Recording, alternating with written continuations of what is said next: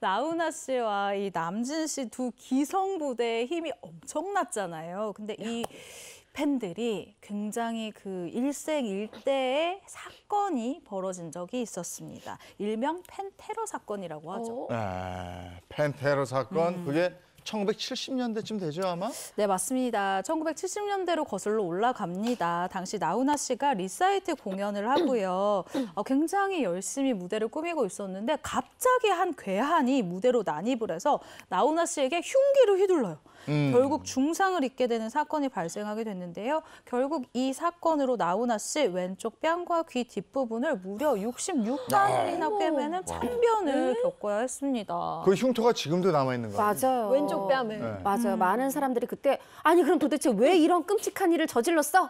이 범행 동기를 궁금해했는데 이때 당시에 범인이 잡히고 나서 이렇게 얘기합니다. 유명한 인기 있는 연예인을 해쳐서 나의 이름을 알리고 싶었다.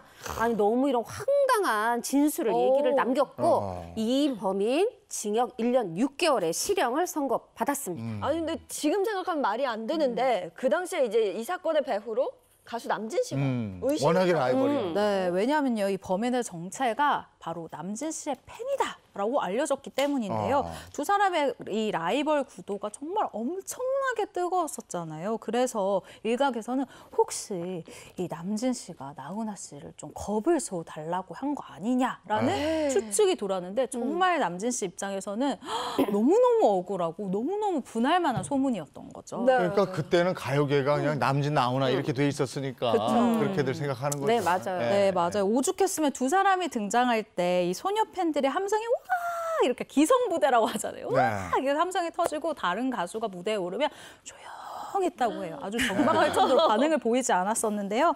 그렇다 보니까 이 팬들 사이에서 알력이 막 눈에 띌 만큼, 눈에 아주 보일 만큼 이 라이벌 관계가 굉장히 심했다고 합니다. 예, 그때 막 그냥 기성부대 막 했던 분들 지금 6, 70대. 근데 남진 씨팬 아니었죠? 아이고 여기서 엄청난 반전이 일어납니다. 남진 씨 팬 아니었고요. 나훈아 씨 팬도 아니었고요. 고인이 대신 신성일 씨 팬이었다고요. 아, 그래요? 평상시에 뭐 신성일 씨의 주소, 신상 명세를 달달달달달 외우고 다닐 어. 만큼 스토커 행각을 일삼던 그런 사람이었다고 하네요. 아니 근데 이해가 안 되는 게 고 신성일 씨의 그 스토커가 음. 왜또 나훈아 씨를 습격을 한 거예요? 당시에 이제 이 서울 시민회관 이 공연에 신성일 씨가 등장했다 그래요. 게스트로 일종의 등장을 한 거죠. 그래서 신성일 씨를 이렇게 아까 얘기했잖아요. 유명 연예인을 해쳐서 내 이름을 알리겠다. 아니 세상 이게 팬의, 팬의 마음인지 모르겠지만 신성일 씨를 해치러 간 건데 약간 술을 먹고 갔대요. 아. 근데 술에 취해서 졸다가 엄마 눈을 떠봤더니 신성일 씨가 이미 무대 신성일 씨 무대가 지나간 거예요. 그래서 아, 이거 어떡하지 못할까 하다 그때 무대에 올랐던 게 나훈아 씨였던 거죠. 어, 나훈아 씨도 또 인기인이니까 아, 이, 이 정도도 됐다고 탁 올라가서 그렇게 나쁜 짓을 했고 이후에 이 얘기를 어머 내가 사실은 신성일 씨 팬인데 지나가서 이렇게 얘기하기 뭐하니까 자기 자존심에 내가 남진 팬이다 이렇게 밝혔다는 거예요. 근데 이분의 나쁜 점이 하나 더 있습니다.